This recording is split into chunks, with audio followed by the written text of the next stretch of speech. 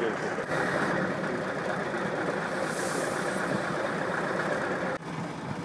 nous on était appelés trop tôt là. on commence à 8